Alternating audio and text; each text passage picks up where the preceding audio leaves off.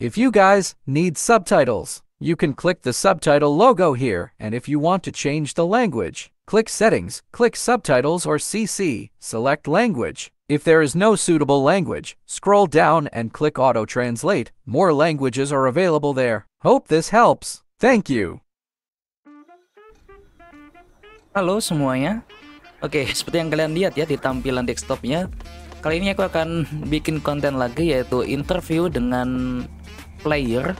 Dan kali ini yang akan aku interview adalah Truth Bentinamo atau biasanya namanya Truth Truth DBN dan ya ganti-ganti nama lah pokoknya.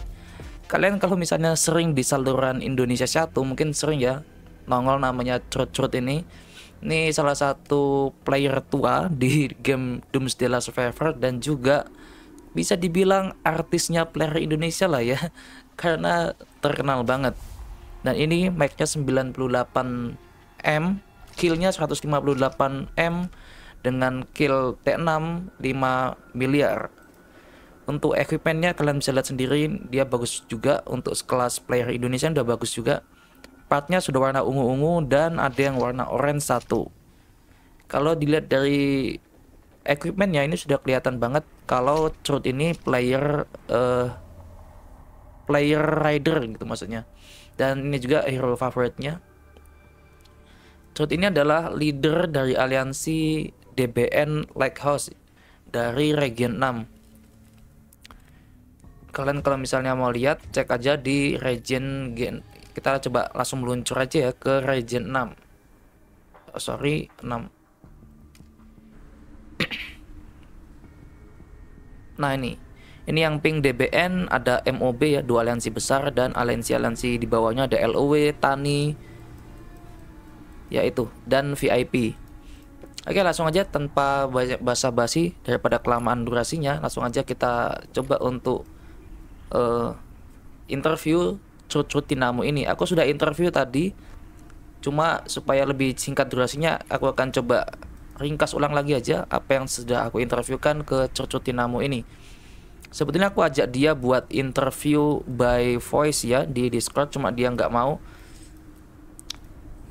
Oke langsung aja kita mulai. Ini aku minta izin waktunya. Thank you buat waktunya Om Curut. Nih yang pertama aku minta tolong Om Curut buat kenalin siapa sih Om Curut ini. Oke by the way sebelumnya aku minta maaf buat player non Indonesia ya yang chatnya ini nggak bisa aku translate ke Inggris karena emang aku awalnya sudah ngechat pakai bahasa Indonesia supaya lebih enjoy gitu ya untuk chatnya.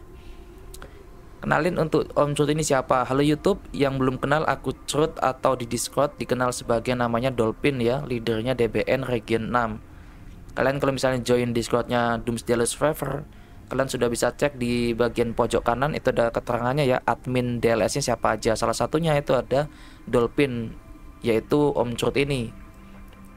Kalau kalian mau join Discord-nya DLS bisa langsung cek di Google ya Discord-nya Doomsday Survivor atau enggak bisa join Discordku dulu nanti cek di info update itu ada updatean dari Doomsday Survivor. Kalian tinggal klik lagi bisa langsung menuju ke Discord-nya Doomsday Survivor. Pertanyaan selanjutnya, aku tanya soal berapa lama sih main game ini dan sudah main berapa lama? Kenapa bisa main game ini? Dan dia jawab, dia sudah main game ini lebih dari 396 hari. Kalian convert sendiri ya kalau untuk tahunnya udah berapa tahun? Mungkin sekitar uh, berapa? Dua tahun lebih ya mungkin atau mau dua tahun. Aku dari awal game ini rilis di Indonesia langsung main. Aku suka game sejenis ini dan sudah banyak familiar dan nyaman dengan gameplaynya. Jadi dia main sejak game ini rilis pertama kali di Indonesia. Dan aku tanya game-game apa aja sih yang serupa yang pernah dia mainin. Ternyata salah satunya ada Rise of Kingdom ya yang paling populer dan ada SOS atau Stage of Survival. Gamenya mirip juga kayak zombie-zombian cuma beda developer kalau nggak salah. Dan game yang paling lama dia mainkan yaitu SOS dan game DLS ini. Tadi sudah disebutkan dia bermain selama 396 hari lebih dan aku prediksi dia ini Om Crut asli dari region 6 karena kalian cek sendiri kalau region 6 itu usianya sudah berapa hari ya. Itu udah tua banget. Nih. Udah usia 396 hari lebih. Lebih berapa jam gitu ya. Jadi dia juga jawab sejak awal setia dengan Regen 6. Berarti memang penduduk asli lokal Regen 6 ya. Semoga setia terus Om dan bisa membawa Regen 6 kembali ke kejayaannya. Langsung pertanyaan ke intinya aja yang lagi hot-hotnya ya. Langsung kita bahas. Pertanyaan pertama yang lagi panasnya yaitu DBN dan Regen 6 sekarang gimana sih kondisinya setelah ditinggal beberapa whalesnya ya yang mungkin paling kalian kenal ada Kapten Tony dan juga Desi ya yang pindah ke Bon atau ke Region 4.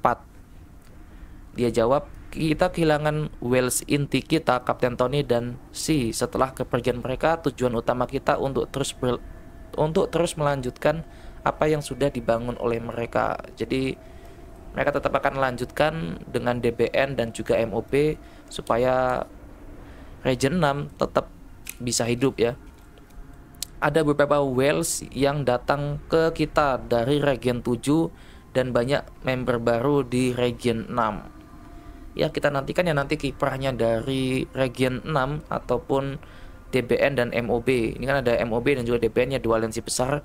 Yang nanti akan kedatangan whales dari region 4 ini aku kurang tahu siapa aja whalesnya dan kapan mereka akan datang. Dan aku jawab, ya Region 6 tidak termasuk dalam list event imigrasi. Seperti kehilangan Sepertinya kehilangan mereka tetap membuat Region 6 tetap kuat sampai sekarang. Ya, betul ya. Karena menurutku region-region yang nggak masuk immigration event itu salah satu alasannya adalah karena mereka tetap kuat ya, punya power dan punya beberapa player yang mic-nya masih gede-gede. DBN dan MO, DBN dan MOB akan selalu berusaha menghidupi region 6. Kita tidak pernah jadi yang terkuat tapi kita selalu berusaha sebisa kita kupikir itu adalah yang terbaik dari kita ya jawabannya memang agak-agak formal ya mungkin supaya bisa ke translate tapi aku nggak translate ke bahasa Inggris Oke, menyinggung soal MOB, apakah DBN sharing metropolis dengan MOB? Bagaimana sistem di sana dan apakah ditentukan real presiden dari region 6? Ya, seperti yang kalian lihat ya di sini ya, DBN dan MOB saling bersentuhan untuk towernya dengan Metropolis. Untuk sementara ini MOB yang memegang kendali atas Metropolisnya. Jadi aku penasaran gimana sih sistemnya di sana untuk pemegang Metropolisnya? Dijawab DBN dan MOB tidak terlalu memperdulikan siapa presiden. Kita saling memberi untuk siapa yang membutuhkan. Untuk hadiah loot metro, kita bagi-bagi bersama DBN dan juga MOB. Berarti benar-benar sharing ya. Siapa yang lagi butuh itu yang pakai metropolisnya. Butuhnya apa? Berarti buff. Butuh buff presiden butuh buff yang aktifin buff dan sharing lootnya bersama. Apakah ada planning untuk DBN dan MOB merger untuk Island Red kan yang lagi rame-ramenya kan kalau untuk merger ini ya mergernya ANCS dan juga HNB di region 10 jadi pasti ada kemungkinan juga untuk MOB dan juga DBN merger untuk menjadi satu aliansi yang lebih kuat atau ya pasti kalau merger tujuannya adalah untuk bisa lebih kuat ya. Planning untuk merger sering dibahas. Belum ada kepastian untuk kita merger untuk Island Red karena faktor matchmaking Island Red. Dan aku jawab, ya semakin tinggi power aliansi, peluang masuk bracket atas justru semakin besar dan semakin melelahkan. Dan itu yang betul ya kalau kita masuk bracket G1, G2 itu capeknya bukan main cuy. Karena hampir kebanyakan kalau ada bun HNB itu hari pertama sudah pasti gelut. Apalagi sekarang ada DHX ada Regen 100 gitu ya. Itu juga capek banget kalau kita war dari dari hari pertama sampai hari terakhir. Dan salah satu poinnya kalau kita mau masuk bracket atas itu adalah power aliansi kita harus gede. Kalau misalnya nggak beruntung ya kita power kecil juga bisa masuk bracket 1 G1 gitu ya. selanjutnya by the way Om Curut sudah ikut banyak season Island Ride menurut Om Curut Island Ride mana yang paling berkesan sampai sekarang dan menurutnya Island Ride kedua masa DBN lawan Pickle Pickle ini nama pemain ya Master Pickle DBN melawan Master Pickle di HOT. DBN pukul mundur sampai helipad, tapi setelah banyak planning comeback sampai HOT ke helipadnya. Untuk Island Red yang bukan termasuk DBN, selalu Island Red di mana ada bond, mereka selalu bagus strateginya. Jadi maksudnya untuk Island Red selain DBN itu ketika ada ketika ada bond di situ ada strategi yang bagus-bagus gitu ya maksudnya. Ya kita akan lihat dulu untuk region HOT HOT itu ada di region 9 kalau nggak salah ya.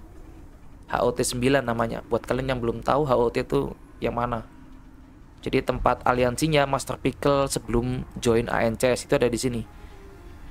Ini mapnya sementara ada ini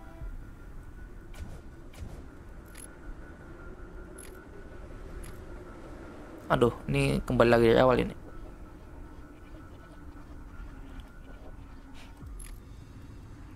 Video ini disponsori oleh galeri topupindonesia.com sebuah website yang salah satunya menyediakan layanan untuk membeli bundle game Doomsday Lair Survivor. Kalian juga bisa membeli bundle game populer lainnya di antaranya Mobile Legend, Rise of Kingdom, Genshin Impact, Call of Dragon, dan tentunya Doomsday Lair Survivor. Cocok banget buat kalian yang sedang bingung mencari tempat beli bundle games yang murah dan tentunya aman. Di galeri topupindonesia.com menyediakan banyak opsi metode pembayaran baik melalui bank transfer, QRIS, e-wallet, virtual account, dan juga tentunya minimarket seperti Alfamart, Indomart, dan juga Alfamidi. Cara belinya gampang banget, kalian tinggal klik logo game kesukaan kalian, contohnya Doomsday Last Survivor, dan masukkan semua data yang diminta, pilih nominal top up, dan pilih metode pembayaran yang kalian inginkan. Masukkan nomor WhatsApp serta voucher yang kamu punya. Jika kalian mengalami kesulitan, kalian bisa kontak nomor admin di sini. Oke guys, jangan lupa kunjungi website galeri topupindonesia.com dan beli bundle yang murah hanya di galeri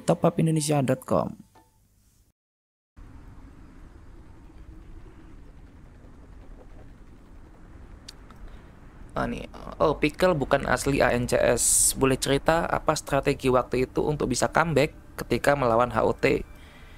Dijawab oleh Truth, di awal Island Red DBN punya dua aliansi. Kita awal kalah di saat aliansi kita disibukkan dengan aliansinya HOT. Di hari kedua kita dipukul mundur sampai ke helipad. Jadi untuk satu lawan satu waktu itu HOT versus DBN, DBN-nya kepukul mundur ya karena aliansinya nggak nggak ikut membantu pada saat waktu itu mungkin. Dan setelah aliansi kita bisa fokus ke HOT, kita langsung pukul mundur dari ujung ke ujung map balik ke helipad mereka. Ya ini strategi counter attack ya. Mungkin dia nyerangnya ketika HOT lagi offline atau memang ketika saat itu memang lagi lagi apa ya? Lagi lagi chance-nya bagus ya untuk ke counter karena lagi dapat apa ya lagi dapat feels-nya buat menang gitu. Kan aliansinya sudah bisa fokus ke HOT semuanya bisa fokus ke HOT itu awal kenapa ANCS musuhan dengan KLGD, ANC, AC18 dan lain-lain.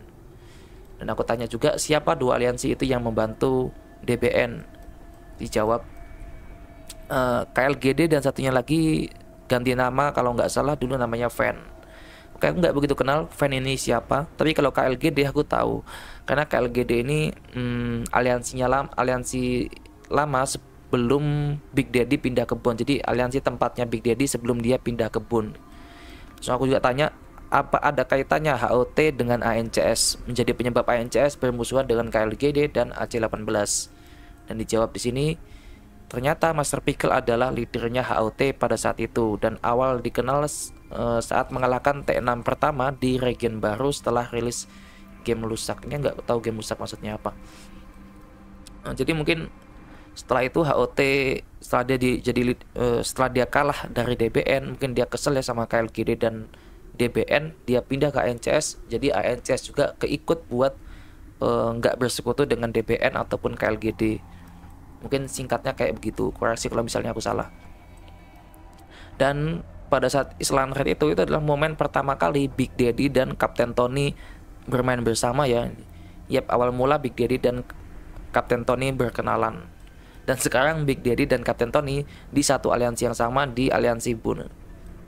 Aku bilang your Jancho leader I call him Cabul dan selanjutnya kita bahas soal Island Red yang sudah terjadi di bulan Agustus kemarin karena banyak banget tuh yang lagi apa adu debat ya apalagi di kolom YouTubeku yang bahas soal video history itu banyak banget yang like banyak juga yang komen debat di sana.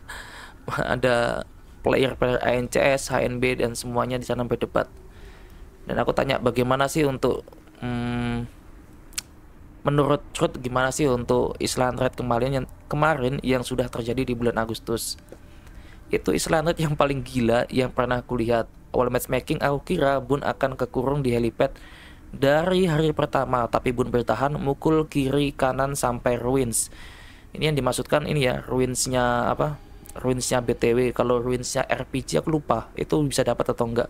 Kayaknya RPG itu belum dapat ruins ya atau emang nggak cukup flagnya towernya nggak cukup jadi nggak bisa sampai ruinsnya RPG dan harapanku developer terus meningkatkan matchmaking agar G1 bisa lebih seimbang ya mungkin nanti ada DHX ataupun aliansi Region 100 yang join di G1 nanti kita nantikan deh gimana hasilnya.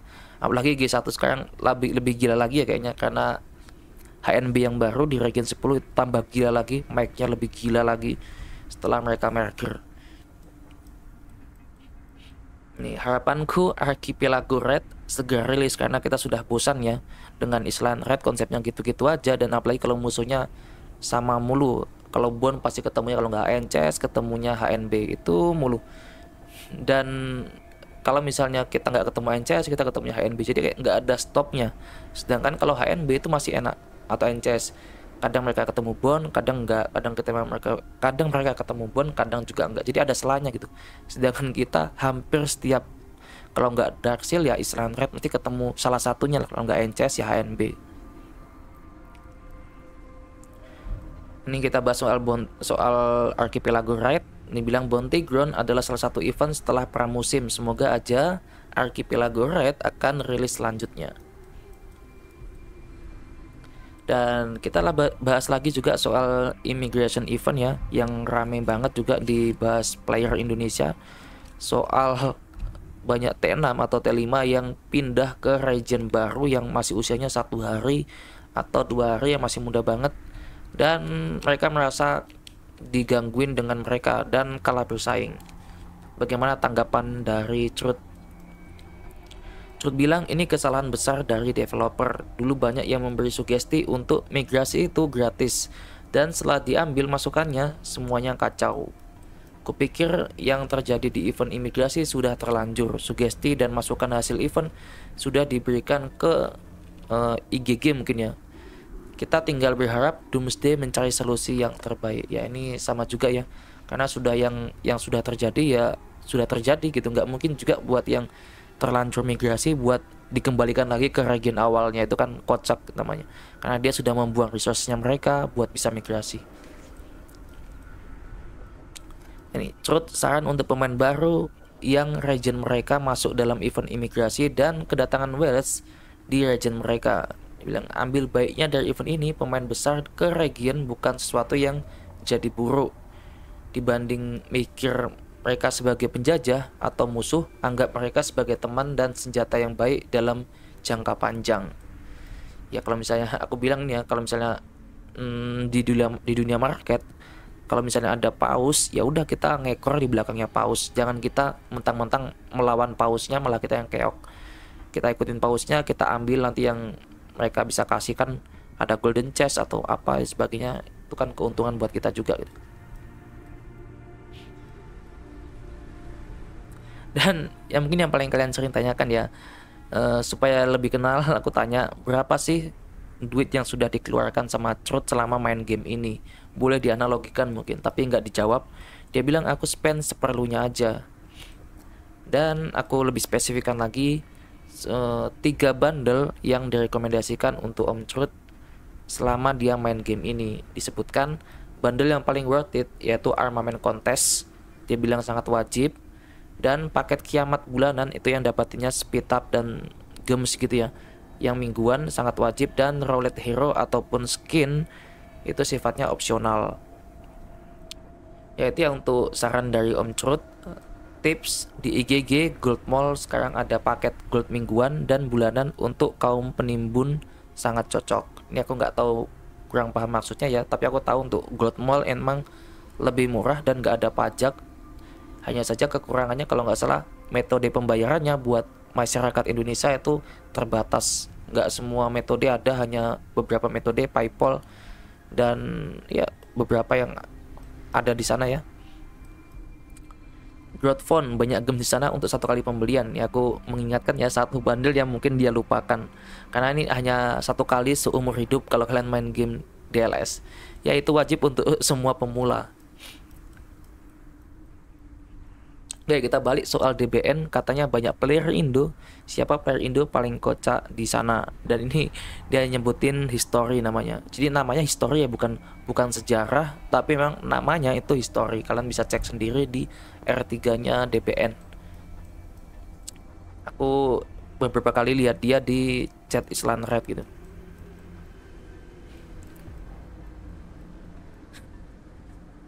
Oke selanjutnya By the way, by the way, ada saran nggak sih buat player baru atau pemula?